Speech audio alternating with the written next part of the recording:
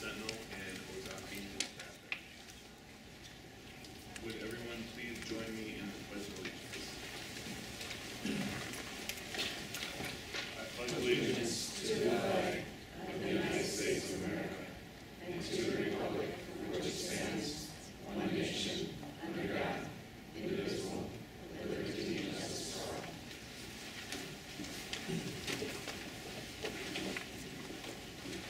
Resolutions and recognitions, and if there are none, we will move to the consent agenda. Mr. Mackey. This, there are three items on the consent agenda. The first is the approval of the board minutes from June twentieth, two thousand eighteen. Second item is approval of district financial information, including the check register, check detail, and credit card transaction report.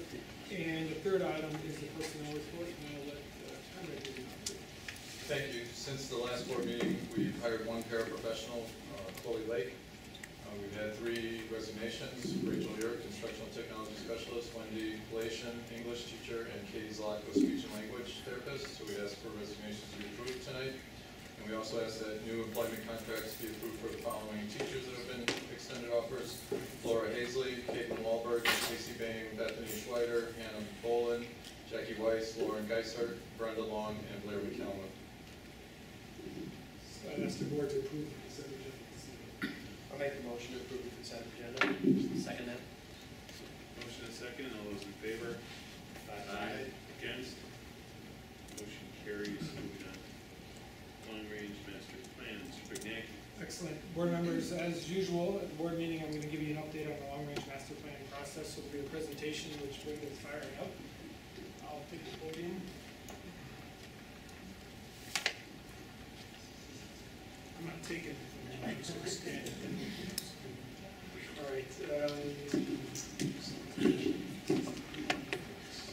So board members, um, at each board meeting, I give you an update on where we are with the long-range master plan. And um, here we are in the summer, uh, and uh, it was a year ago that we really started our process in in earnest.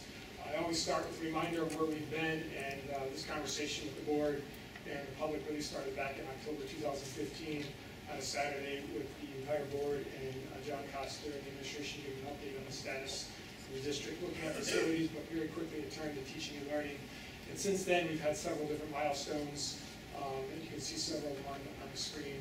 And really taking us all the way up to the current state where we are now, exploring solutions to our um, areas of concern.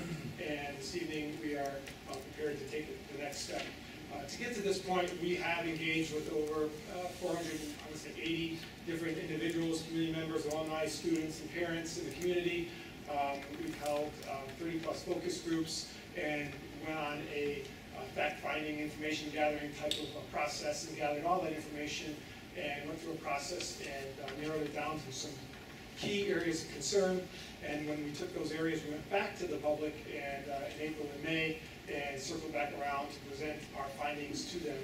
And it really landed in three different areas, school capacity, learning spaces, safety, and security. Those are the three buckets where all of our needs um, have begun to, um, I guess, uh, gather and have, been- and those are the areas that we've, we've, we've- we've been compiling our, our needs and our concerns in those three buckets. And school capacity uh, clearly is an item that um, we're beginning to see more and more um, of concern around that. Uh, In fact, just, it was yesterday, I believe, Ted, correct me if I'm wrong, we added another um, 4K section at uh, Thorson because the enrollment uh, had um, um, uh, surpassed the uh, threshold, so we added 4K. That was the last board meeting that I sat up here and, or stood up here and told you that we added a, um, I think it was a first, first grade section at Thorson. And 5K at Thorson is on the bubble. So we may be adding another section at Thorson very, very soon. And at that time, um, I was discussing potentially art on a cart, music on a cart, um, or even trailers. And I've asked John Coster to investigate um, what, what it would cost the students uh, potentially in a trailer. That, that would be um, the last option, but certainly something we would be, be tending to. So we know learning, school capacity is an item, learning spaces, we continue to have conversations around that. Just today, we're at Webster talking about spaces for a larger class and how to accommodate that class and how to make certain that our students' uh, learning needs are not compromised and it was a great conversation, and uh, it really did feed into our long-range master plan. What are some of the steps we can take at Webster so we can accommodate some of these larger classes that, that come through uh, Webster? And safety and security, uh, always an item for us. Uh, We are focused on making certain that our entries to all our schools um, are uh, upgraded um, and um, providing the utmost uh, security and safety for our kids. And that um, we have eyes throughout the, the, the uh, exterior of the building and in our halls and those critical areas.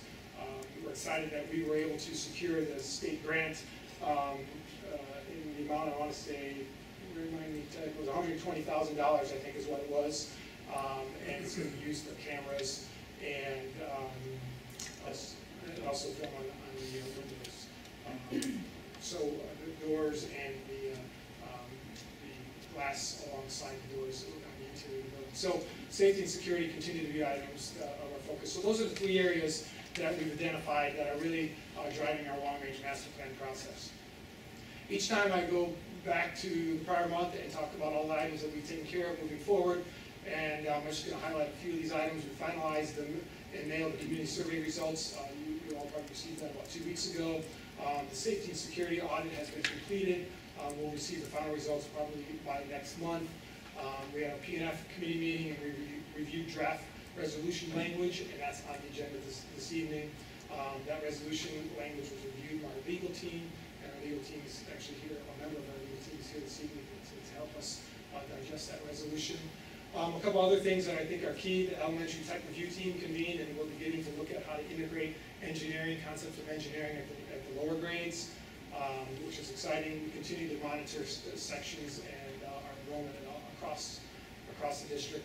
And um, we had a very uh, nice, um, well-written uh, article in the news graphic that really did talk about um, the need to address our capacity. And so we'll continue to work with the news graphic. There's two more articles coming out. The next one is on, um, I want to say, uh, safety and security, and then finally on um, on learning spaces.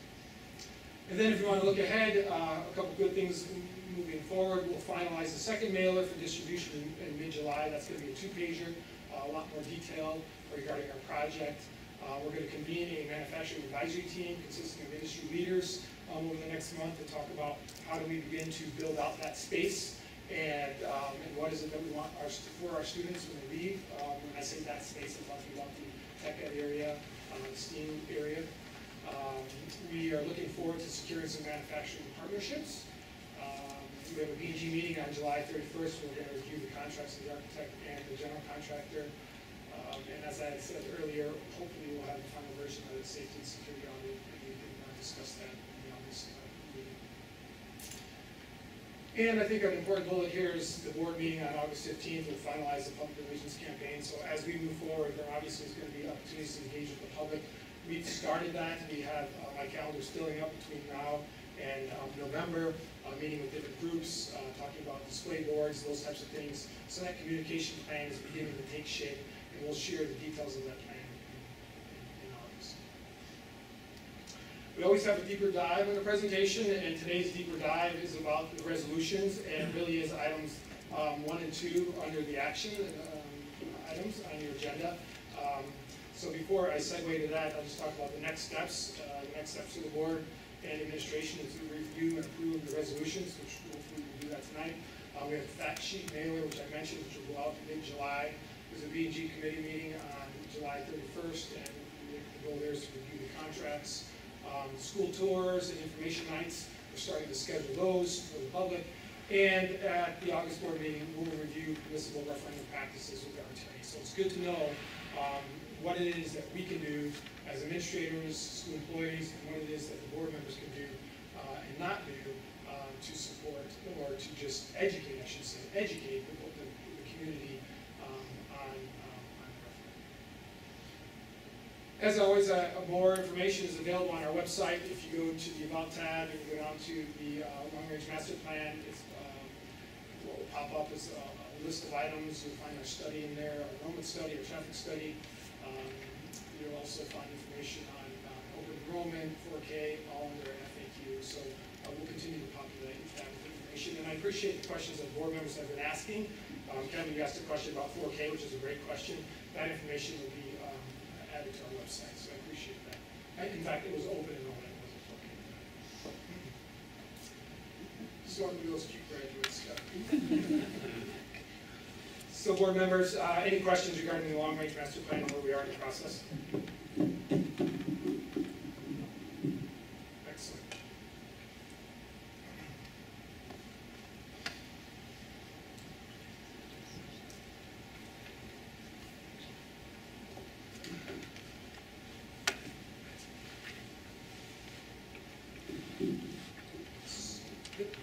All right, moving right along to five A.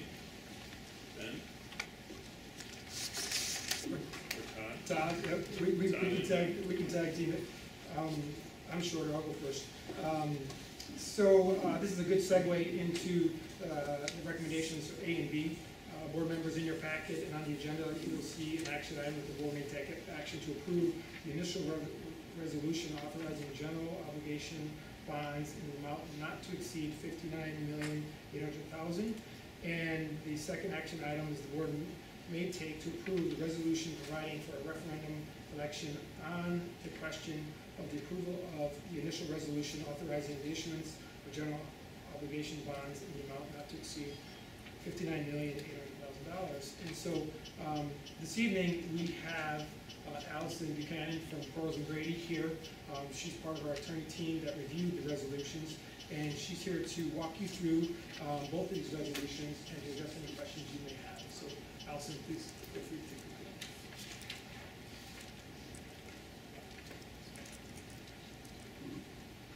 Thank you, Todd. Um, As Todd said, I'm going to walk you through the resolutions and can help answer any questions that you might have.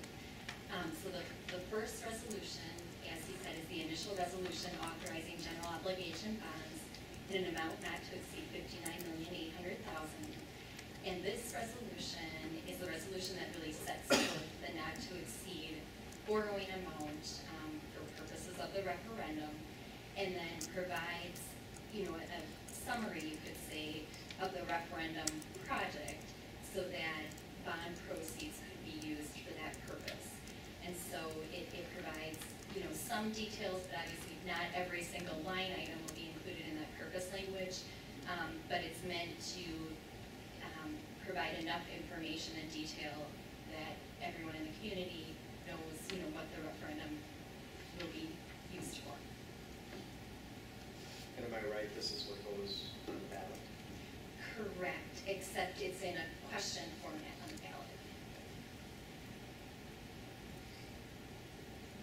And that question was presented at the PNF meeting, we received feedback from PNF members, and that's been incorporated in that version. So, Yeah, we went over it quite a bit in our meeting and asked about the language a little bit, and had some clarification, and we came to what we thought was acceptable language on all fronts for this exact description. Language updates is how we described or discussed it.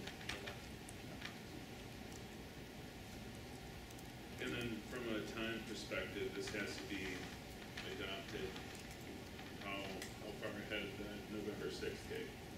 So the ballot filing deadline is seventy days in advance of the November sixth election, which falls on August twenty-eighth. So the resolution had to be adopted before that ballot filing deadline. Any other questions on this action item, board members? No. So then I would ask for a motion to approve the resolution. I will make that motion to approve, um, the resolution as presented here today. I'll second that. Motion and second, all those in favor? Aye. Against? Motion carries unanimously. Item B, Mr. Bugnacki. The next one is a bit more extensive. Um, That document is multiple pages, and um, I think the first two pages are probably the most significant. Uh, We have exhibits A, B, and C um, attached as well. Correct, so that is the resolution providing for a referendum election on the question of the approval of an initial resolution authorizing the issuance of general obligation bonds in an amount not to exceed 59,800,000. And this is a resolution that calls for the referendum election to be held on November sixth. it references the initial resolution that was just adopted, and then it provides some of the other procedural details with respect to the referendum. So for example, in section two, it references the notices that will be published leading up to the referendum. Those are attached in form as exhibits. And then if you go on to the second page there, talks about polling places and hours, um, the official referendum ballot form, which is attached as exhibit D.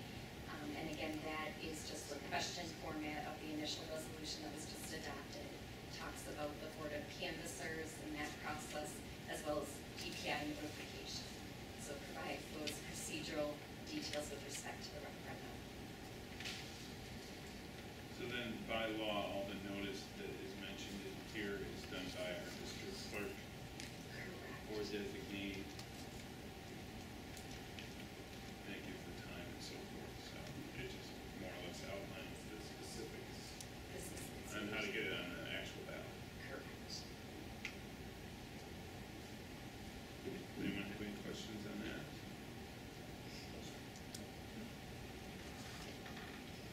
Any further discussion on that?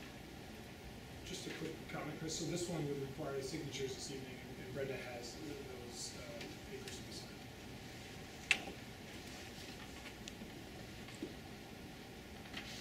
All right. Take a motion.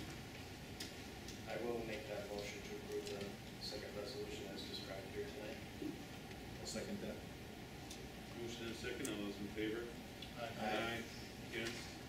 Motion carries unanimously. So much like a lot of what we do here, um, a lot of the heavy lifting, if you call it, is done in the committee. So, I mean, it seemed like we quickly just voted on these two things, but it wasn't quick at all. You saw the timeline, countless hours of work, um, a lot of dedication by staff. And um, Can't thank the public and everyone enough for everyone's contribution to us to this point. So, onward, forward. I kind of want to yell out a hoot and holler because it seems a little unclimactic after a year and a half of getting to this point, but uh, I echo everything that Chris had said. It's, it's, it's it's wonderful to be in a position where um, we are going to educate the public on uh, the needs of the district and allow the public to decide what's best for, for our kids. And It's been quite the journey to get here, and um, a big shout out to- to to Kevin, who's showed up every Tuesday morning at seven o'clock. Almost every. Almost, yeah, yeah, uh, almost uh, every Tuesday morning uh, at seven o'clock to, to be a part of this process. And um, his insight and uh, perspective has uh, been extremely valuable. And, uh, So we're very grateful uh, that the board has allowed um, this process to take place and to take us to this point where now um, it's in the hands of the public. And we begin our campaign in earnest and, um, and uh, educate the public on on what our project is and how it impact kids. Thank you very much. Thank you. All right, moving on to item C, donations. Board members, we have a few donations um, to approve this evening, and if you recall, we did this by consent agenda. The First donation is in the amount of seven hundred and fifty dollars from James and Michelle Fitzpatrick, and the matching donation of five hundred dollars from Wells Fargo. This donation will be used to support the additional seating for the CHS courtyard. The second donation is for twenty-five hundred dollars from Cypress Industries. This donation will be used for the Cypress Scholarship Fund. I ask that the board approve um, both of those donations. So moved. Second? Motion and second, all those in favor? Aye. Against, motion carries. Moving on to item D, the six contract. Item D, um, this is an annual contract that we asked the board to approve. CESA six is, uh, the CESA that provides our services for our website hosting. And, um, last year, they also provided some ELL support for us. Um, this year, that's been removed from the contract, so what you see is a cost that's reflective of just, uh, um, services for, uh, hosting our website. And I asked the board to do this. I'll move approval. I'll second it. Motion and second, all those in favor? Against, motion carries. Item E, academic standards. Alan, I believe that. Yes. Uh, Annually, the state of Wisconsin directs board members to include the the standards that are used in the District Two uh, for all the courses. So I've included an attachment that shows board members and the public the standards that was, uh, Cedarburg School District uses, which are the Wisconsin standards and national standards, uh, the International Science Technology standards. So we use a variety of standards to build courses that students in the district receive. So we need to take action on that. And has there been any change um, since the last year as as standards? Actually, there have been some updates by the state of Wisconsin, so new science standards, which include the engineering strand, uh, new social studies uh, standards, which include a, um, a hefty inquiry strand, which is new, uh, computer science standards, which are K-12, which are new. So um, the district is undergoing a process where we start to review those standards, uh, build learning targets around them, and then start embedding those in courses. So lots of lots of action uh, through the Department of Public Instruction and teachers within the state of Wisconsin. So what's the typical lag when you get the new standards when it's fully?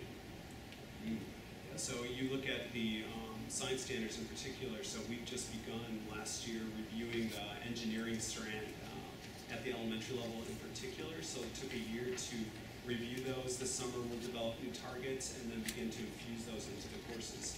So it's about, using that as an example, it's about a two-year lag. Sure. And Alan, are these mandates, we have to follow these, or is this optional, and we choose to follow these? How does that fall? Uh, you're- You're required as a board to identify what standards you're using. So uh, the state of Wisconsin, if you weren't to use these, typically a district would offer national standards, but you have to identify something.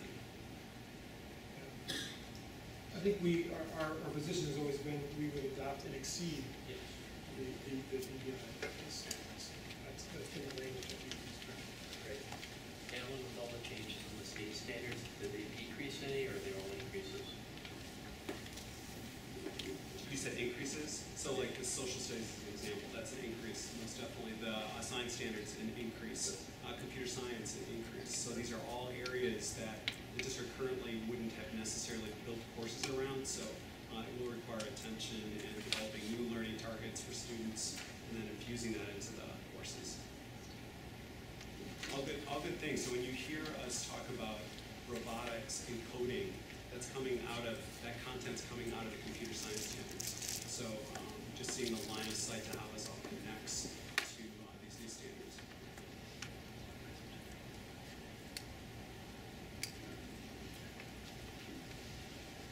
Do I have a motion? I'll make, I'll motion to approve the use of these standards. Second that? Motion and second, all those in favor? Aye. Against, motion carries. Thank you, Alan. Um, Item F, And that, just to note, that was a a feature in the recognition. Yes. Item F, um, I will let Conrad speak to that one. We, we, um, asked for approval last year at this time for this particular item, and, and uh, it worked well for us, and so I'll, ask, uh, Conrad to speak to that. This really has become an annual issue, the later we get into the summer and the hiring season, when veteran educators move from another district, this is crunch time, because for them to submit a resignation, they're not going to be comfortable resigning from a job that they already have until they've got assurance that they have a job with the new district, and if we don't approve a contract till August, we're right on top of the school year starting, and the timing just does not work. So we've asked in the past, and we'll ask again this year and future years for the board, give approval in July, proactively, essentially, to the contracts that we issue between now and the August board meeting. So when we offer those contracts, and it's a veteran teacher under contract somewhere else, they've got assurance that they're gonna have a position with the district, and we can move that process forward and have them ready to start the year at the start of the year, as opposed to hanging out there. Essentially, we would lose candidates if we don't do this, because they wouldn't jump and take a new position without the assurance of having their job. And very few people would even like leaving in July, much less right before the school year's gonna start. So we'd ask you to proactively give us the approval for those contracts between now and the August meeting, and we'll still bring the contracts to you in the August meeting, just like we normally do, and you can actually approve again, um, and see them like we normally do. Is this type of action common in other districts, what we're proposing here? I Are we being honestly- more more proactive, Yeah, to I- get a competitive advantage? I don't know if other districts go to this level of literally asking for the approval. Um, I could ask my colleagues and find out a little bit more. Um, I just like to think we're doing more, being more proactive than We are- maybe other we are definitely doing that. Nobody's being more than we are, I can tell you that. Yeah. Um, I'm also a little bit of a stickler for the details and the rules, and I would say some of my colleagues in other districts may play fast and loose with some of the rules. I didn't hear that. Should that work? I don't know if this works. I would make a motion to approve what Conrad is asking that he has uh, the administration have the proactive authority to approve and authorize teacher contracts extended between July and the August board meetings. I'll second that. Motion is second, all those in favor? Aye. Against, motion carries, and that's worked well for us the last two years. Yes. It has. I think it's also a good way to let the other districts know before, a week before school starting, that they're gonna need to be replacing someone, or potentially a student coming out of college and you're trying to be Right. competitive in hiring somebody, it's a, it's a good thing. Great point. It's not just veteran teachers, but for everybody, so it's a good idea. All right, at this point, I'm going to ask if there's any public comments. Anyone from the public wish to speak at all on anything? Anything at all? All right. Excellent. So now's the time, if anyone wants to speak. All these people just came out on a nice sun, summer night to, to school board. I just want to thank everyone for Oh. Ah, there we go. I just gotta read. I have to, It's not like you really want I have to it. read. I really do. It's probably, I have to read this. His be longer than yours. It will be longer.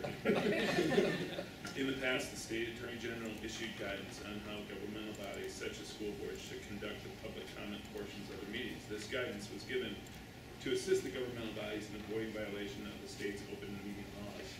The essence of this guidance is that unless the topic being brought to the board by the public is listed on that meeting's agenda, no significant discussion can be held on the item. Instead, the topic may be listed as an item on a future meeting agenda whereby discussion could then be held. The reason for this guidance is not to limit open discussion, but rather to ensure that all interested parties have equal opportunity to participate in the discussions with the full school board. We on the school board encourage community input, and we want to hear from you, our constituents. However, we also take the state's open meeting law seriously and follow the guidance as outlined by the state attorney general. Therefore, if an item is listed on tonight's agenda, open dialogue may occur between the individual from the public and the board members. If it is not listed, the board will be limited to listening only and will not be able to respond to comments or questions. If your item is not listed on tonight's agenda and you wish to have a discussion regarding the topic, you're encouraged to contact the district superintendent and request that your item be listed on a future meeting agenda.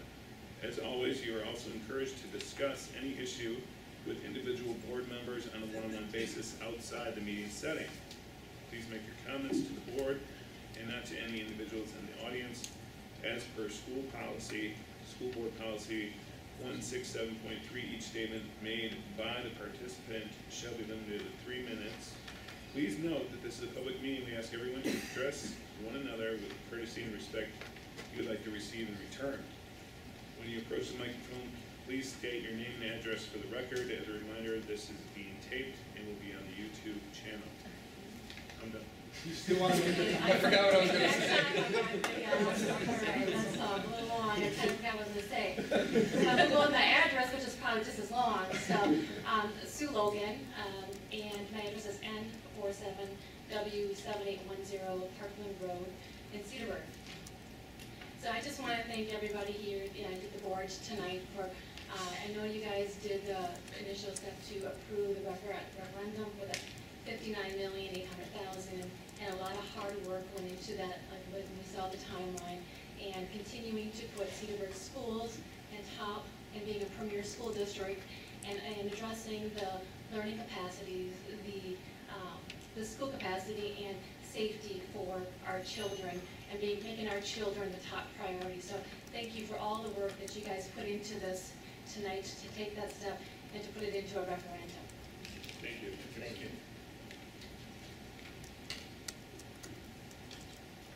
Anyone else? Anyone else, Dawn? All right, thank you. Um, moving on, Personnel and Finance Committee. Yeah. Committee report. Sure, we had a meeting, um, July eleventh, we talked about just an enrollment update. um, Discussed obviously the resolution that you heard tonight and uh, improved that language. Uh, Also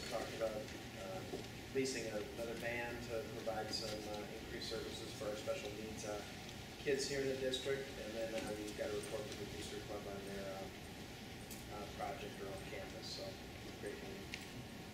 Great. All right, um, that would be the only committee update, so at this time, I will take a motion where we will adjourn into the committee of the whole, where we will have a review of the food service and also, um, student services update with uh, the student mental wellness framework. I'll take that motion. Second. Motion and a second. All those in favor? Aye. Aye. Against, motion carries. So we're basically taking the meeting and we're moving it to the boardroom, which is out that door to your left and to your left in the hall. Just follow the crowd and we'll all be in there. Thank